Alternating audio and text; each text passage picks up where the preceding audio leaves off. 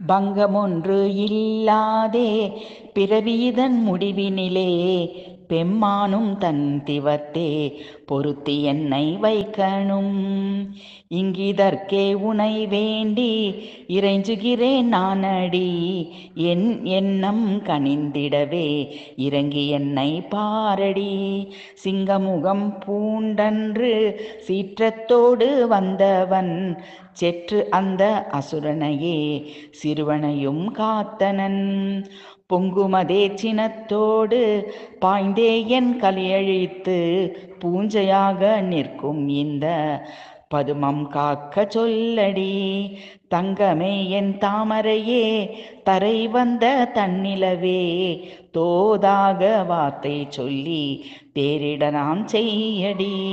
எங்கள் கோதை என்றுன்னை இருமாந்தே ஏத்துவேன். இணையடியில் என் சிரத்தை எந்நாளும் இருத்துவேன்.